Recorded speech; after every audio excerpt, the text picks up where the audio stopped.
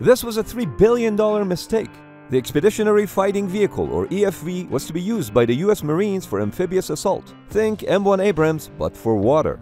It had a speed of 45 miles per hour on land and 29 miles per hour on water while transporting a crew of three in addition to 17 Marines and their equipment. To achieve such speeds, it was equipped with a more powerful engine than the M1 Abrams plus two water jets. But EFVs were over-engineered and unreliable. On average, something would fail every four and a half hours, but that's not why the program was cancelled.